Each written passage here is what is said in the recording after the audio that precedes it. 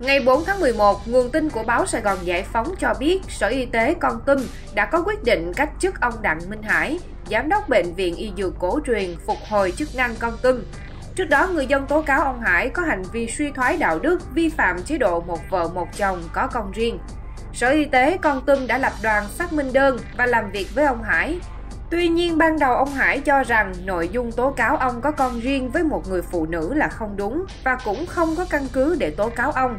Sau đó, trên cơ sở kết quả xét nghiệm ADN, ông Hải thừa nhận có con riêng với người phụ nữ tên V.